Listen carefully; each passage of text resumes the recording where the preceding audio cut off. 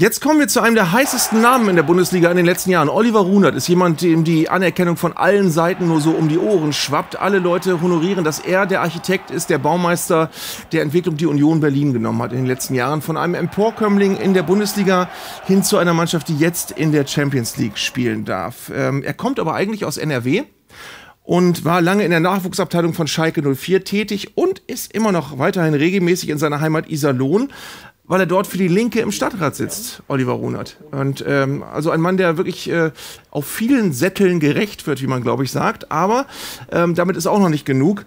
Er pfeift auch ab und zu noch Kreisligaspiele als Schiri, wenn er also gerade nicht Sportdirektor ist und nicht Politiker, pfeift er.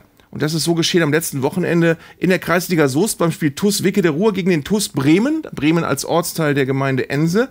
Und Dennis Stephan hat ihn für uns dort beobachtet. Hallo Arndt. Ähm, ja, heute mal nicht in der Funktion als Manager von Union und auch nicht als Kommunalpolitiker oder sonstige Dinge, sondern heute Schiedsrichter, Kreisliga A Soest, Derby, TUS Wickede, TUS Bremen. Das ist mein Sonntagnachmittag heute. Schönen Gruß in die Sendung. Seid ihr extra hier wegen denen? Ja. Oh. Ja, ist doch, ist doch mega, ist doch schön. Super, ich danke dir.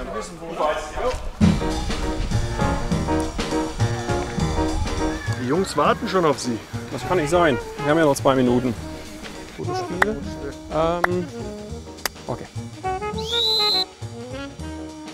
Würden Sie den Ball wieder weiter nach hinten legen, bitte? Danke. 21. Hey, mal 21. Komm her. Einmal die Aktion. Wegbleiben, ne? In den Situationen. Weiter.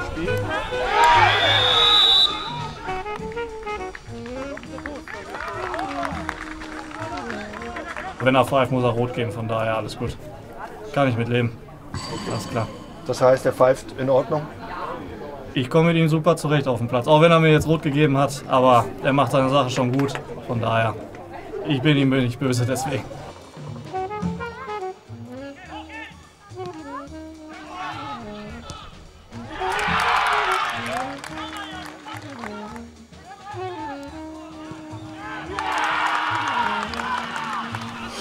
Fällst nur hin, sonst gar nichts.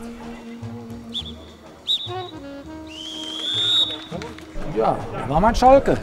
Sie sind auf Schalke? Ja, sehr. Traurig, dass der nicht mehr auf Schalke ist? Ja, leider. Der hatte Ahnung. Jetzt sind nur Traumtänzer in Schalke. Ja, bis jetzt macht er einen guten Eindruck. Ja, auf jeden Fall. oder so. Spiel hat er auf jeden Fall im Griff.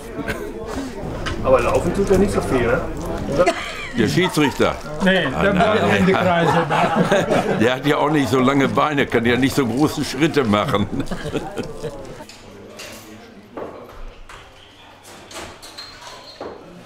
Der Job lässt sie nicht los, ne? Verfolgt immer, ne? Das ist so ein bisschen, kann man hier miteinander verbinden. Kann ich auch ein bisschen Bundesliga schauen, das ist auch ganz gut.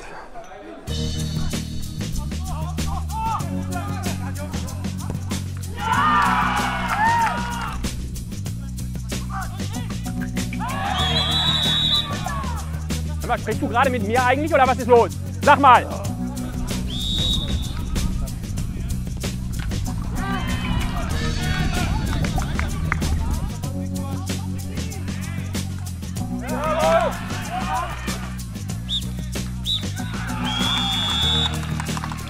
Nach den ganzen Jahren, heute ist das Fernsehen da, es hat den ganzen Jahren noch nie gegeben und heute geht die Sohle ab. Also das ist wirklich hier äh, ein schlechtes Omen, das muss ich mal festhalten.